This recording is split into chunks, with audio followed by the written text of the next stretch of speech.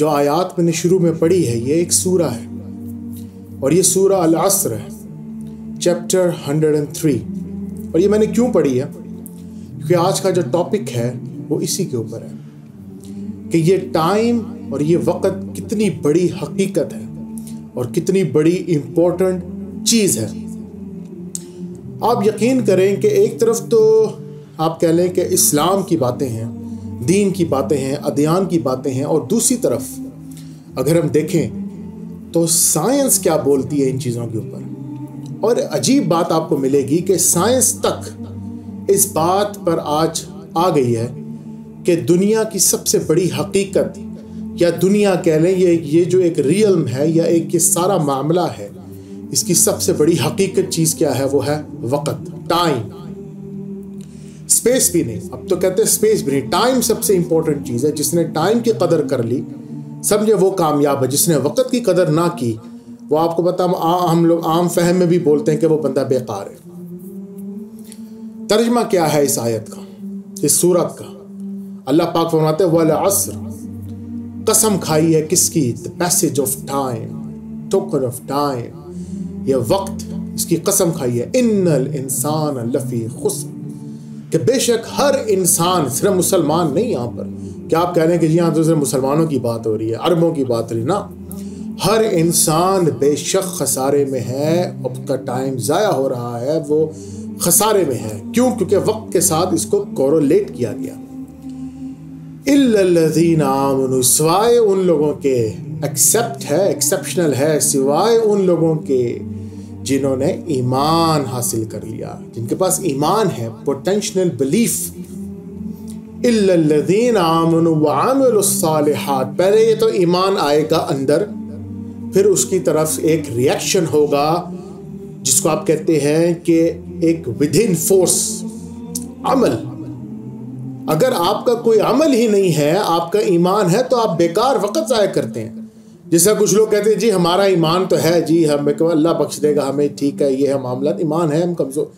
وہ تو بات ہے، ایمان is the most integral value اس کے بعد اگلا سٹیپ ہے۔ عمل۔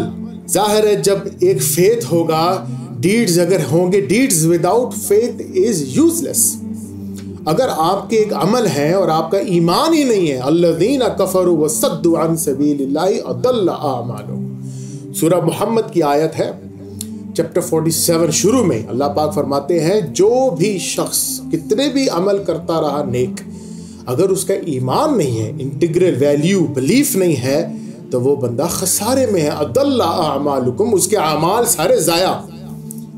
جو بھی ہے، کتنا بڑا فلنتھروپسٹ ہے، کتنا بڑا نیک بندہ ہے، لیکن اگر اس کا ایمان نہیں ہے نا بلیف اور یہ ببلیکل کانسیپٹ بھی ہے کہ deeds without faith is useless عمل جو ہے وہ وداؤٹ عقیدہ، ایمان اور بلیف کے بیکار ہے، ایک وقت کا ضیاع ہے۔ تو آپ دیکھ لیں خود، اپنے آپ کو جج کریں۔ اگر آپ کے اندر ایمان ہے، عمل نہیں کرتے، بیکار ہے، اگر عمل کرتے اور ایمان سرے سے کوئی نہیں ہے، تو اس کا تو بالکل کوئی فائدہ نہیں۔ تو اللہ نے کیٹیگری دی ہے نمبر ون ایمان نمبر ٹو عمل الصالحات، نیک عمل کرنا۔ پھر وتواسو بالحق ولا تقولوا على الله الا الحق. And don't say anything except which is truth towards Allah. کیا انما اللہ الہ واحد. That your Rabb is one God. This is the biggest reality of this whole thing. توحید اللہ ایک ہے بس وہ کھیلا ہے وہ تنہا ہے ولم یکن لہو کفو انہار کوئی شے اس جیسی نہیں تو یہ بات آپ اپنے ذہن میں ڈال لیں۔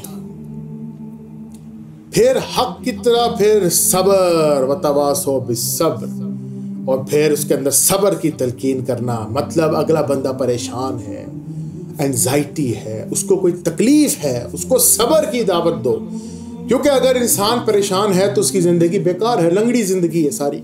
بیکار ہے، اس کا وقت ضائع ہو رہا ہے، اس کی لائف جہاں ضائع ہو رہی ہے۔ تو اللہ پاک فرماتے ہیں و تواسو بالحق کے و تواسو بالصبر صبر لاسٹ پوزیشن پھر حق حق سے چھپانے والا یہ حق کو چھپانے والا سب سے بدترین انسان ہے اس دنیا میں، جو کنسیل کرتا ہے ٹوتھ کو۔ تو اللہ پاک کتنے پیارے انداز سے کیٹیگری دے دی۔ نمبر ون یاد رکھو time is the most important element number two کیا ہے اس ٹائم سے کورولیشن کا سب سے پہلا پوائنٹ ہے؟ ایمان فیتھ بلیف پھر بلیف کے بعد اس کا ایک ریئیکشن ہونا چاہیے automatically within and that is what your deeds virtuous deeds اور پھر جب ورچوئس ڈیڈس کرو گے اس کے بعد کیا ہوگا؟ اگلے کو حق پتا ہوگا اور حق کیا ہے کہ اللہ ایک ہے شروع سے؟ اور پھر جب حق بتاؤ گے، پھر اس کے بعد اگلے کو صبر سکھاؤ کہ صبر کرو۔ قیامت کا دن بھی ہے، اگر تمہارے ساتھ کو اونچ نیچ ہو گئی ہے اس دنیا میں، تو سارے جو عدل ہے، اس کی سارے جو دروازے مت کھٹکھٹاتے رہو کہ اللہ نے تو ہمیں رسوا کر دیا، اللہ تو ہمیں عدل ہی نہیں دیتا۔ دنیا میں کیا کیا ہو رہا کیا نہیں ہو رہا، یہ کیسا گاڈ ہے God is sleeping ناؤز inverted commas قیامت کا دن بھی تو کوئی دن ہے، اس دن بھی کچھ رکھو۔ اللہ پاک قرآن میں فرماتے ہیں، اگر ہم تم کو تمہاری کیے کی سزائیں دینا شروع کر دیں تو ایک چیز بھی سانس لے گی نہیں اس دنیا میں۔